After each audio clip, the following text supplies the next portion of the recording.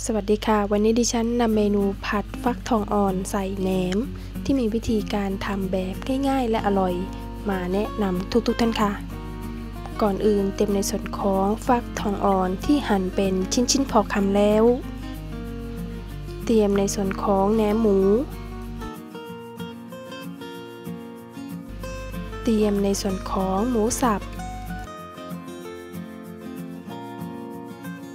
เตรียมกระเทียมแบบตำละเอียดหยาบ เตรียมพริกสด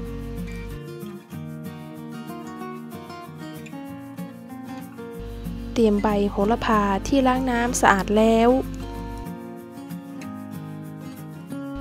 เมื่อเตรียมของทุกอย่างเสร็จเรียบร้อยแล้วให้ยกกระทะขึ้นตั้งไฟและใส่น้ำมันตามลงไปค่ะ รอจนกระทั่งน้ำมันร้อน พอน้ำมันร้อนได้ที่แล้วให้นำกระเทียมที่เตรียมไว้ใส่ลงไปในกระทะ และผัดผัดกระเทียมจนกระทั่งมีกลิ่นหอม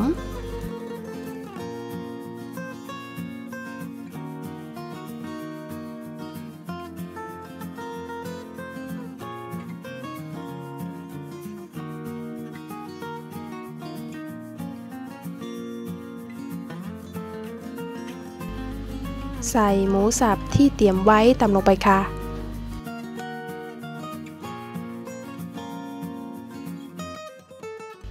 ผัดผัดให้ส่วนผสมเข้ากัน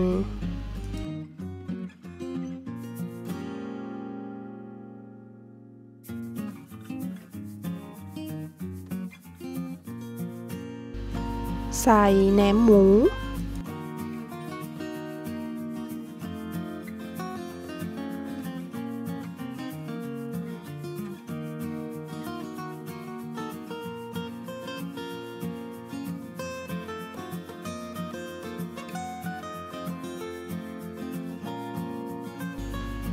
ใส่ฟักทองอ่อน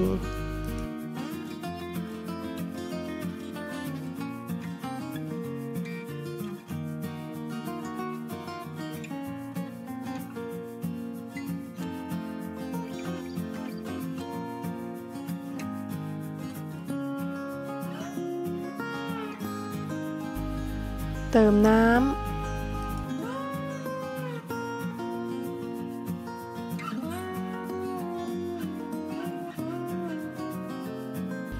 ใส่น้ำตาลทราย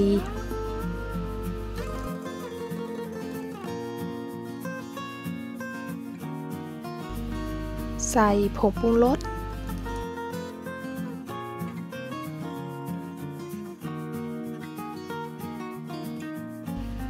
ใส่รสดี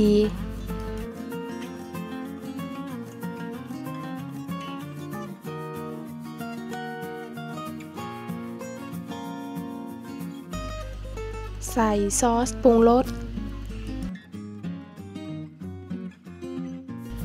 เมื่อปรุงรสเสร็จแล้วให้ผัดผัดให้ส่วนผสมเข้ากันจนกระทั่งฟักทองอ่อนสุก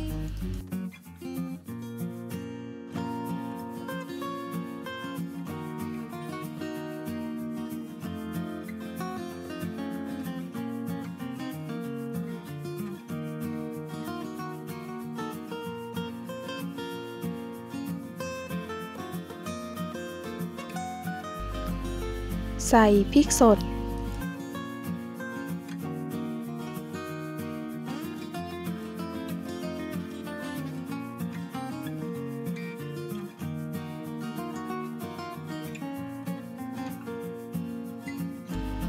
ใส่ใบโหระพา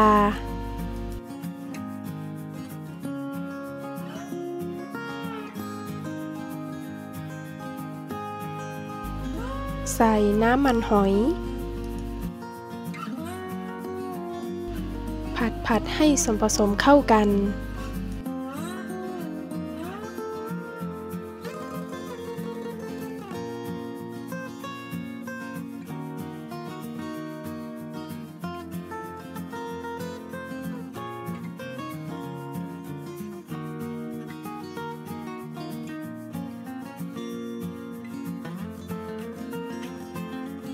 จากผัดฟักทองอ่อนที่เพิ่งทำเสร็จจัดวางใส่จานและเสิร์ฟได้เลยค่ะ